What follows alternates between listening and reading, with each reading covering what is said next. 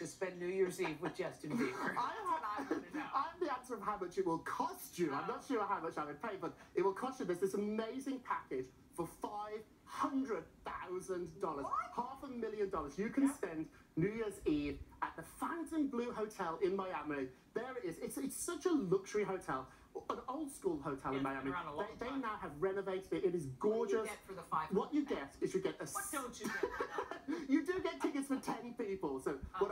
Thousand each. At You- poolside yeah, concert. poolside right? concert. You also get to stay in the penthouse there, right at the top of the hotel. It's about 9,000 square feet, five bedrooms. You also get to use Lamborghinis and fabulous cars. You get to go to great dinners. I'm still, I'm trying to convince you, Hoda. I know, cha-ching.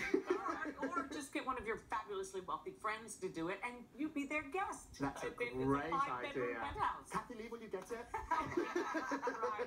Yeah, sure I will. All right, so we've heard rumors about Lady Gaga getting a big role. This, is, this is amazing. So there's rumors out there that she's going to be playing Donatella Versace. Oh. Like they, they, they're friends. On her last album, she actually wrote a song called Donatella, and she dedicated it to Donatella Versace. She's coming back to TV. Is the rumor? American Crime Story. The OJ series was so successful that now they're planning.